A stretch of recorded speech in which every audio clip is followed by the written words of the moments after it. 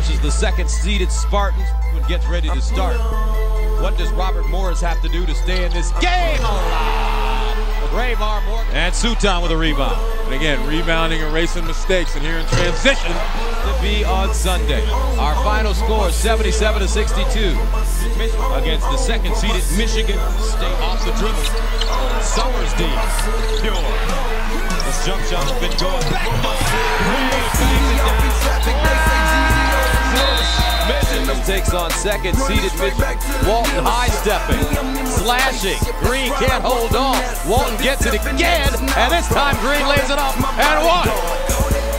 Aldrich has to be able to lock him, get better body contact. Jump shot, Pure. And Michigan State ties it up at four. Here comes a Big Ten Player of the Year, spinning in traffic, leaning up, count on the foul. Knock off the defending national champions. 67 versus a two as Summers again. Pure. Michigan State popping their collars now. Backdoor. Allen. Jam garbage man. Inside. Marquise Gray. Power jam. Lead pass. Summers. Watch out. Payne.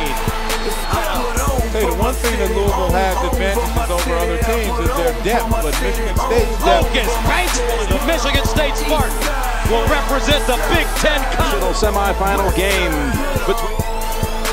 Oh, that pass. Thabeet trying to get it to Robinson. Morgan saw it coming.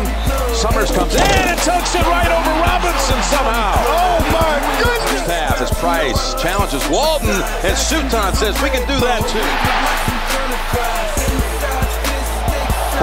Lucas, ow! Michigan State has the lead back at 51. Man open up ahead. Summers going to go ahead and take it in, and he's fouled, and the basket counts. Michigan State advances.